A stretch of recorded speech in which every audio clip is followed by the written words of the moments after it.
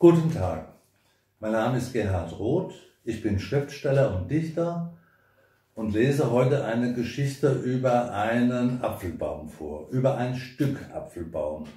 Wenn nämlich ein ganz besonderes Stück von einem ganz besonderen Holzschnitzer ganz besonders wird, dann ist daraus folgende Geschichte entstanden. Paradiesschnitzer. Der alte Menken hat mich ganz sorgsam behandelt, abgesehen von seinem scharfen Schnitzmesser und der groben Hobelbank. Das musste wohl so sein. Es hat nur ein kleines bisschen wehgetan. Er hat mich mit seinen feinfühligen Händen hin und her gedreht, bis er meine schönste Maserung vor Augen hatte. Und dann hat er mit mir gesprochen, in seinem urbayerischen Dialekt. Ich habe zwar nicht alles verstanden, aber seine Stimme war so schön mit ihrem sonoren Unterton und hat mir Vertrauen eingeflößt.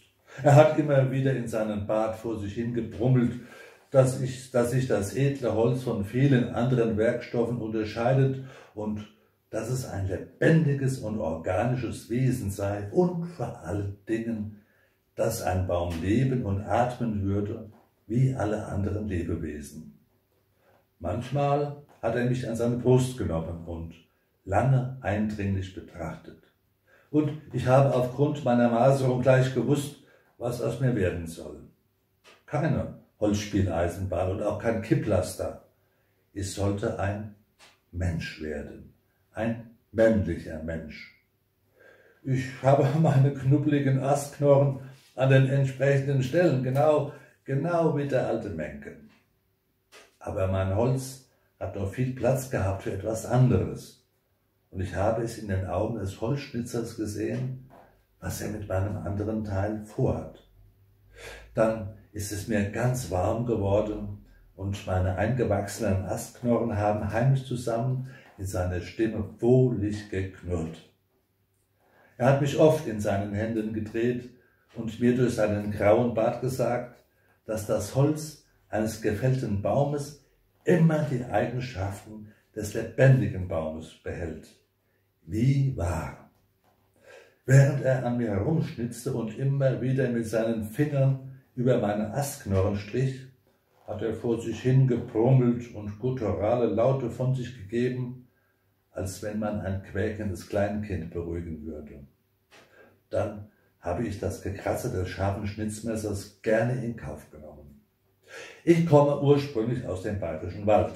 Da gibt es viele Fichten und Tannen und Eichen und Buchen, aber nur wenige Apfelbäume. Und ich bin einer von diesen ganz wenigen.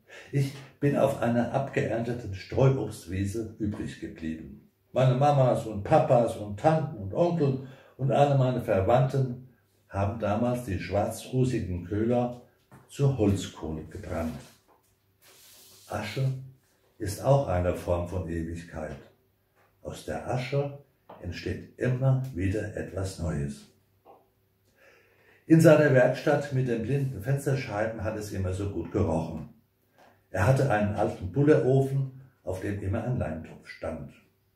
Der Leim war nicht irgendein moderner Uhu aus der Schnelldrücktube, sondern ein heiß gewordener Plutolinleim aus Knochen und Lederresten.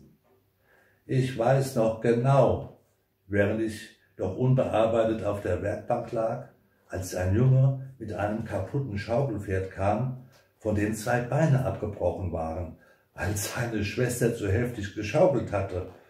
Der Junge hatte zwar versucht, die Beine wieder einzuarbeiten, aber der alte Menken hat nur in seinen Bart gelächelt und sich des Schadens angenommen.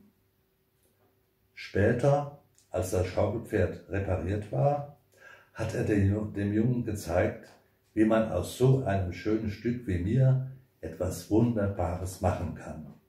Also hat er mich wieder genommen und gedreht und an mir herumgeschnitzt.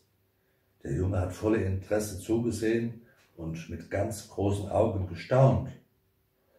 Und als ich beinahe fertig war, hat der Junge gefragt, ob er nicht auch eine Frau machen könnte.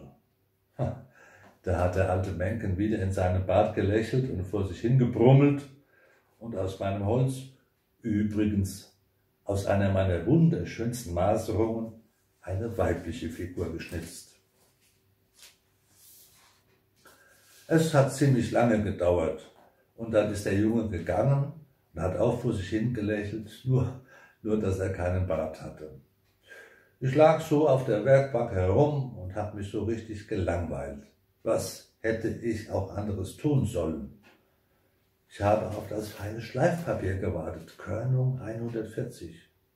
Derweil hatte alte Menken den Knorrleim auf dem alten Bullerofen wieder aufkochen lassen und vor sich hingesagt, dass er uns beide zusammenfügen wollte. Denn nach dem Auszapfen von Fugen wäre das Leimen von Holzverbindungen sehr, sehr wichtig. Und die Voraussetzung dafür wäre, dass die ineinandergreifenden Teile genau westens zusammenpassen würden, damit der Leim in die entsprechenden Holzporen gepresst werden müsste.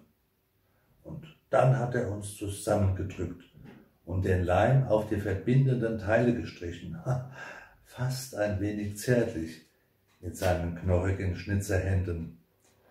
Aber dann hat er doch gemerkt, dass wir beide, der Holzmann und die Holzfrau, doch so ohne weiteres nicht zueinander passen.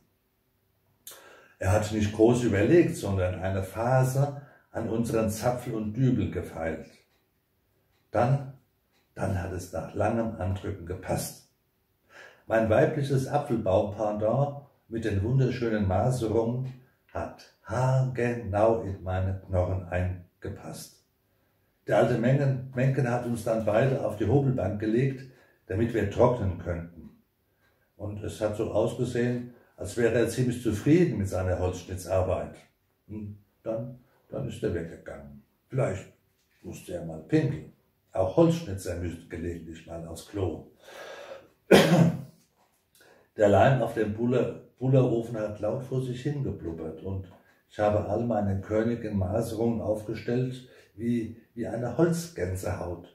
Ich habe ein sehr, sehr ungutes Gefühl gehabt. Meinem verzapften weiblichen Pendant ging es auch nicht anders. Einer ihrer Astknorren hat immer wieder ängstlich zu dem Leimtopf auf dem Bullerofen geschült, geschielt. Rauch, ist, dem, ist auf dem Topf aufgestiegen.